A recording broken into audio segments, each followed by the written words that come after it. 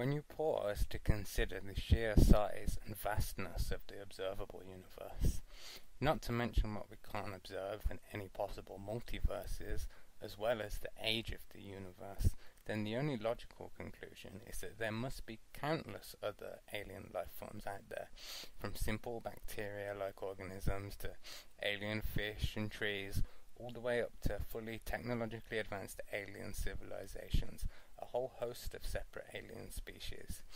We know this to be true from close encounters with the fourth kind and from direct psychic telepathic communications. How many different alien races are there? There could be millions of different alien species out there, but the first and most obvious ones we shall look at are the Zetans, or as they are more commonly known, the Greys. This is the alien race that is the most in the public consciousness. They are often described as hairless, skinny-bodied, enormous-headed, almond-eyed, big-brained, grey-skinned aliens with no nose, ears, or genitals. They hail from the planet Zeta Reticuli, hence the name Zetans. Around half of all reported alien encounters are with greys. This is the species that allegedly crash-landed on Earth at Roswell.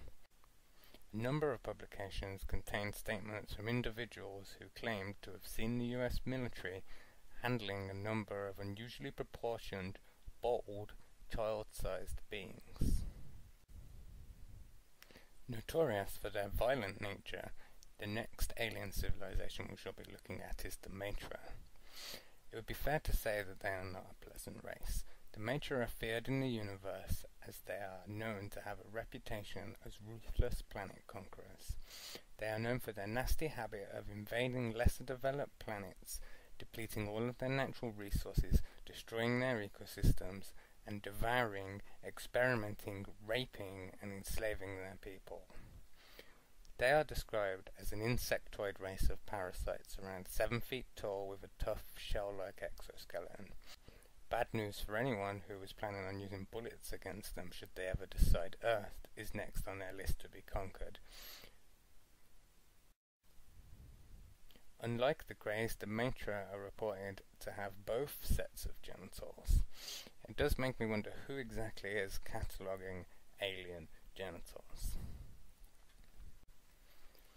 If you are a fan of David Icke and his work, you will already be aware of the Anunnaki, or the reptilians as they are more commonly known. Like the Matra, the Anunnaki are a warrior race feared throughout the galaxy for their ruthless reputation. The Anunnaki are a cold-blooded, humanoid reptilian race with the ability to shapeshift. Icke says that the reptilians are among us right now, here, today, and they are responsible for the oppression of humankind through family bloodlines dating back to ancient times. Human beings were created, that is invented, by a genetic experiments that were conducted by the reptilian aliens.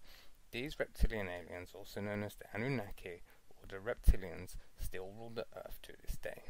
In fact, the reptilians have indoctrinated you so thoroughly that you are probably too weak-minded to even fathom that they exist. Via religion, science, and other forms of indoctrination, i.e. brainwashing, the reptilians have steered you and the rest of humanity in the opposite direction of the truth, to the point where the concept of an alien master or creator is considered to be the ultimate fantasy. Could humanity really be under the control of these multi-dimensional shape-shifting blood-drinking pedophile lizards without us even being aware of it? Conspiracy theorists say so. That the serpent mentioned in the Bible is a metaphor for the Anunnaki. That the Egyptian gods with their amazing forms could be Anunnaki overlords. Even now, in the modern day, they are linked with the Illuminati and Freemason groups. The last of these alien races which we are going to look at today is the Pleiadians, or as they are more commonly known, the Nordics. The Nordic race, who hail from planet Asgard in the stellar system surrounding the Pleiades stars, are human-like in appearance, tall and slender with blonde hair and blue eyes, Aryan almost you could say, and are a peaceful race, un-Aryan-like you could say. They are reported to be in excellent physical condition. They are sometimes described as wearing skin-tight clothing. It is believed that they have visited the Earth on a number of occasions throughout history and inspired the legends of Norse mythology.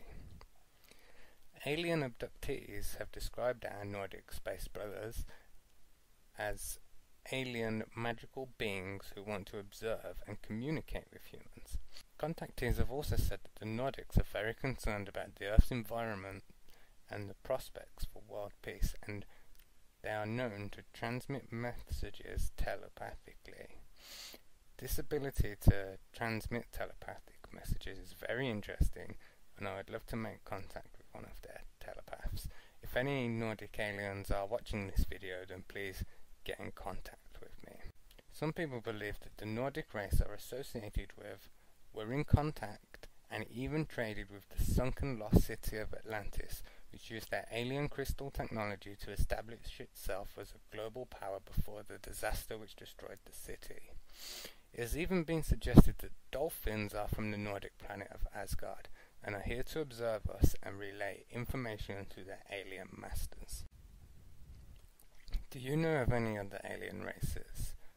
I would love to hear from you if you have information regarding other alien races and civilizations that exist out there in the universe. Please leave a comment in the section below or come to the forum psychicinvestigation.forumocean.com.